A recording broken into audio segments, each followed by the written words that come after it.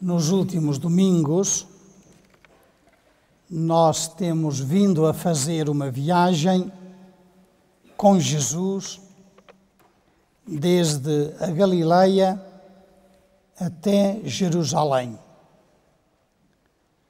Uma viagem que nos tem acompanhado nos últimos domingos e que é também o modelo e o exemplo da nossa vida cristã. Porque também a nossa vida é uma viagem.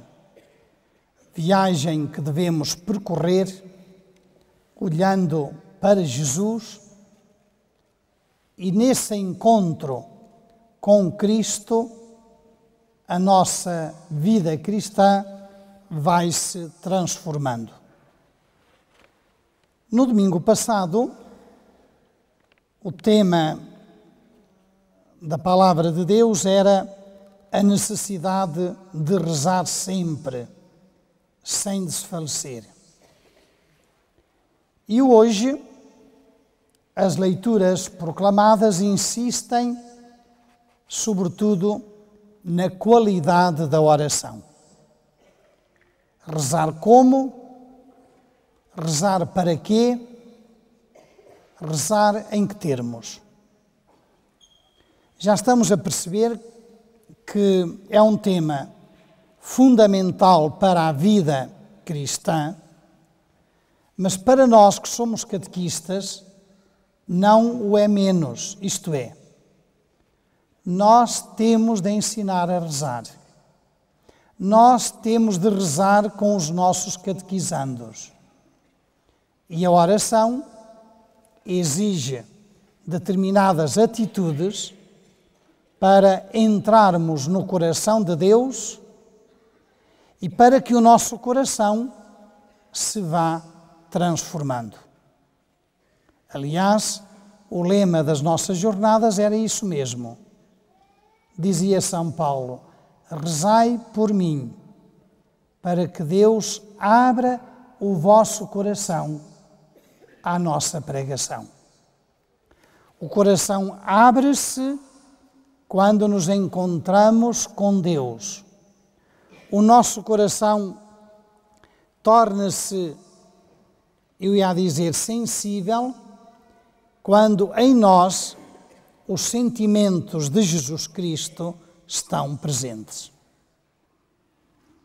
A parábola do Evangelho, a parábola do fariseu e do publicano, coloca em confronto duas atitudes na oração.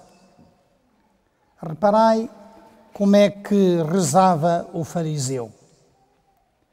Rezava, diz o texto, de pé, em voz alta, para que todos ouvissem,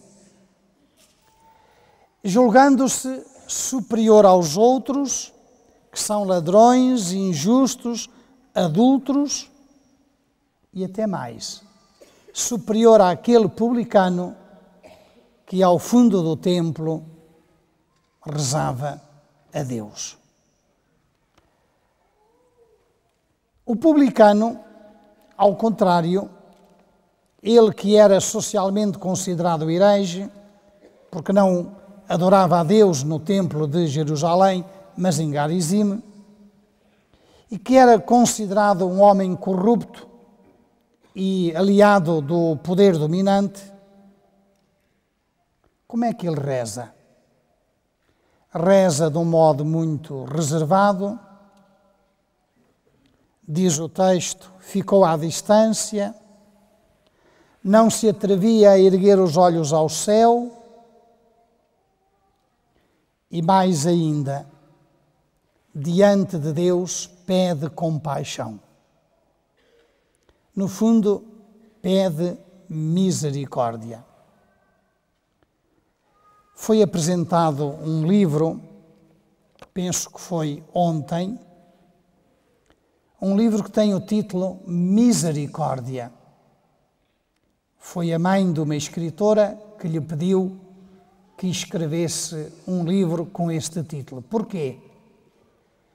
A mãe estava num lar que era da Misericórdia, da Santa Casa da Misericórdia, e nós podemos pensar que era logo no sentido de aqui não há misericórdia. Não. Queria que o título fosse Misericórdia, porque ela queria que fossem sinal de agradecimento pelo modo como a tratavam, pelo modo como tinha companheiras e companheiros com quem falar, pelo modo como o carinho e o afeto estavam presentes. E reparai que este homem pede compaixão. Pede que Deus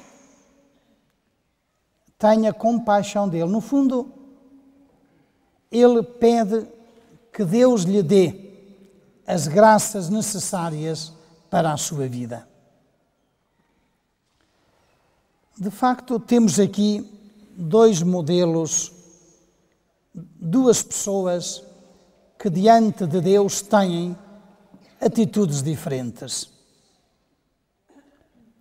Agora, a pergunta que os meus amigos devem fazer, a começar por mim, é: como é que eu rezo?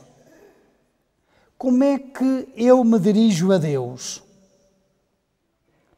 Somos daqueles que nos consideramos superiores aos outros? Ou então daqueles que assumem o amor e a ternura de Deus? Mas há também uma outra dimensão na oração que não devemos esquecer e que vem presente no Evangelho mas, sobretudo, na primeira leitura do livro do Ben Sirá e na leitura de São Paulo. O livro de Ben Sirá diz que Deus não faz acessão de pessoas, mas, se tiver de favorecer, vai favorecer o pobre. Porque Ele não despreza a súplica do órfão nem os gemidos da viúva. E quem adora a Deus será bem acolhido, e a oração do humilde ultrapassa as nuvens. Então, a atitude do publicano na oração deve ser também a nossa atitude. De alguém que diante de Deus reconhece a sua vida. Coloca-se nas mãos de Deus. Para quê? Para que Deus possa nele trabalhar e fazer dele uma nova criatura. Isto, irmãos, é fazer que a oração tenha implicações na vida do dia a dia. A oração não são apenas palavras, não são apenas fórmulas. A oração é, sobretudo, o coração que se abre à misericórdia de Deus. É, sobretudo, o coração que procura sintonizar com o coração de Deus. E na oração não podemos pretender que seja Deus a mudar, mas quando nós rezamos. É Deus que nos transforma a nós e é a nossa vida que deve mudar. São Paulo entendeu isto muito bem na sua vida, já no final da sua vida, quando ele, a sua partida deste mundo estava iminente, o que é que ele disse? Combati o bom combate, terminei a minha carreira, guardei a fé. E o que é que ele espera? Espera de Deus misericórdia, compaixão, amor e ternura. Porque o Senhor me livrará de todo o mal, Ele me dará a salvação. Para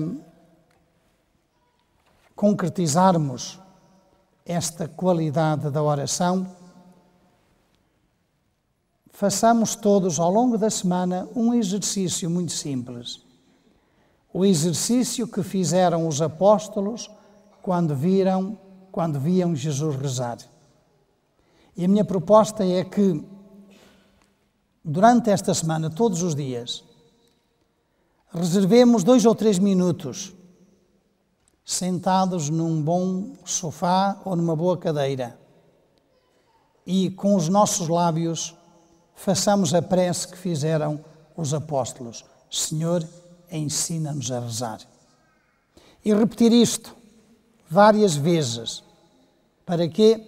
Para no final, com os mesmos lábios que pedem ao Senhor que nos ensina a rezar, nós possamos rezar a oração que Ele nos ensinou.